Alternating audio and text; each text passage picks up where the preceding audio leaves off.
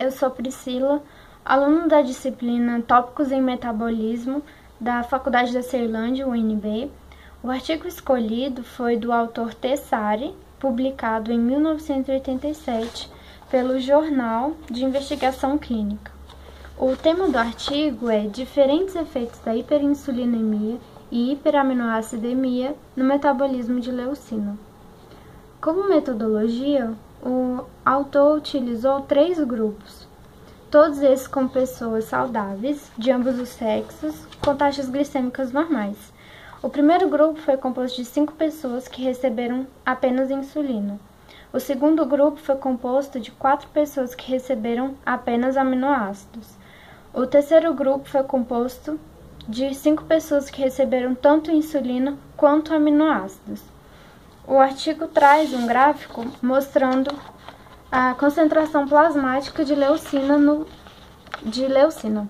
No primeiro grupo, que só recebeu insulina, há a baixa taxa de leucina no plasma.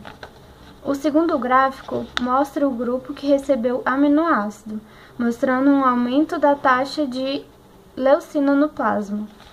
O terceiro gráfico mostra o terceiro grupo que recebeu tanto aminoácido quanto a insulina e mostrou a maior taxa de leucina no plasma. É, o estudo sugere que tanto a, a alta taxa de insulina quanto a alta taxa de aminoácido no sangue estimulam a deposição de leucina no, nas proteínas. E a alta taxa de insulina teve um efeito positivo porque ela reduziu a proteólise ou a quebra de proteínas. A hiperaminoacidemia teve efeito marcável porque estimulou a incorporação de leucina nas proteínas sem afetar a quebra de proteínas endógenas. E a hiperinsulinemia, ou alta taxa de insulina, em combinação com a hiperleucinemia, resultou em efeito de supressão de, de proteólise e a estimulação de incorporação de proteínas de leucina nas proteínas e anabolismo de proteína.